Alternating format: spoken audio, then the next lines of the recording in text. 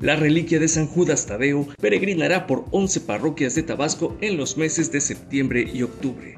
El vocero de la diócesis de Tabasco, Denis Ochoa Vidal, reveló que serán dos las visitas de la reliquia. La primera del 24 al 26 de septiembre en el trayecto hacia Campeche y la segunda del 21 al 23 de octubre, previo al arribo al estado de Chiapas. El primer recorrido cubrirá las regiones Chontalpa y Centro. Comenzará el 24 de septiembre con el ingreso a Cárdenas Después se trasladará a Cupilco en Comalcalco y al día siguiente a Villahermosa. En la capital tabasqueña estará en las parroquias de San Judas Tadeo, el santuario de Nuestra Señora de Guadalupe y al Sagrario Corazón de Jesús.